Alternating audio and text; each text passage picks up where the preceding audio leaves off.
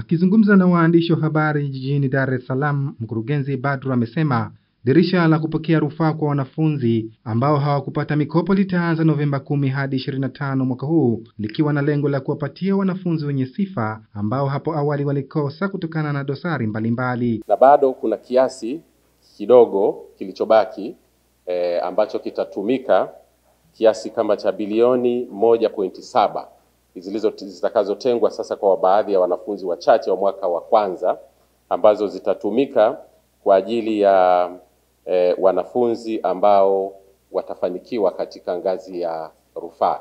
Kama mnavyofahamu, tunavyokamilisha eh, upangaji wa awali, tunafungua dirisha kwa ajili ya wanafunzi kukata rufaa. Katika hatua nyingine, mkurugenzi Badru amesema kiwango cha utoaji mikopo kwa wanafunzi wa elimu ya juu kimeongezeka kwa shilingi bilioni mia moja na tisa kwa mwaka 2019 2020 ukilinganisha na kipindi cha miaka minne iliyopita, hali iliyosababisha wahitaji wote wenye sifa kunufaika na mikopo hiyo. Imetafsirika katika kuwa na idadi ya wanafunzi wanaopata mikopo imeongezeka imeongezeka sana kutoka wanafunzi laki moja mwaka 2014 15 mpaka kufikia takriban sasa wanafunzi laki moja na thelathini kwa sasa. Kwa hiyo ongezeko la wanafunzi thelathini elfu katika kipindi cha cha miaka minne. Kwa upande wake, mkurugenzi uchambuzi wa nyaraka kutoka bodi ya mikopo Dr. Veronica Nyahende amekemea tabia ya baadhi ya wanafunzi ambao hawana uhitaji wa mikopo ya elimu ya juu kuomba mikopo hiyo kwa siri bila ya wazazi wao kujua. Tumekuwa na changamoto, tumekuwa na wanafunzi ambao wanataka tu mkopo na si wahitaji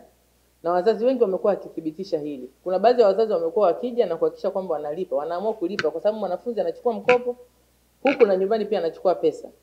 Na pia kuna baadhi ya, guarantors wale ambao ni wadhamini, wanafunzi wameweka wazazi wao kama wadhamini. Tumekuwa tukipiga simu wakati tunataka kupata taarifa mbalimbali, unakuta mzazi anashangaa, mbona mwanafunzi mimi mwanafunzi wangu nilimwambia asijaze mkopo, mimi nina uwezo Bodi ya mikopo ya wanafunzi wa elimu ya juu kwa mwaka 2019-2020 imetenga shilingi bilioni 450 kwa ajili ya kukopeshwa mahitaji ambazo bilioni 164.6 ni kwa ajili ya wanafunzi wa mwaka wa kwanza huku bilioni 285.4 kwa ajili ya wanafunzi wanaoendelea. Athmani Mihula, Star TV, Dar es Salaam.